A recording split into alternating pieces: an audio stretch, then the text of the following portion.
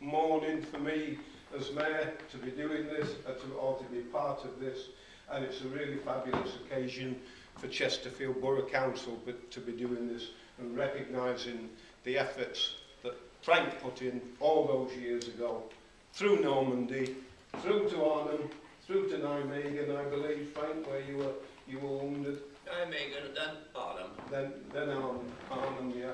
Yes. We've all seen the films, Frank, but uh, we weren't there, and I'm sure it was a lot different from what it was on the film. So, what I'd like to do now is hand over to the Monsieur Lafontaine, the French consulate, to present the award to Frank.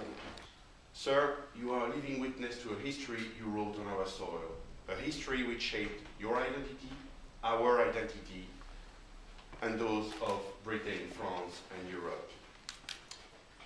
In addition to the pleasure of meeting you and the honor of your presence, I want to say what a great example you represent for me, for young people, for our countries, and for Europe.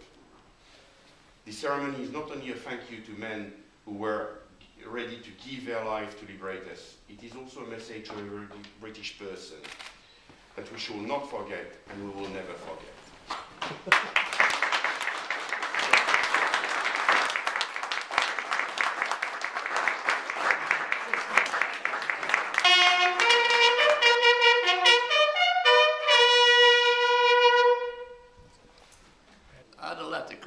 Say the medal I'll put on the list and there'll be a medal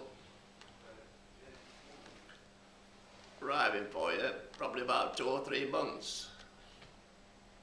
So I just have to wait till it, it came. Felt very honoured today, yes.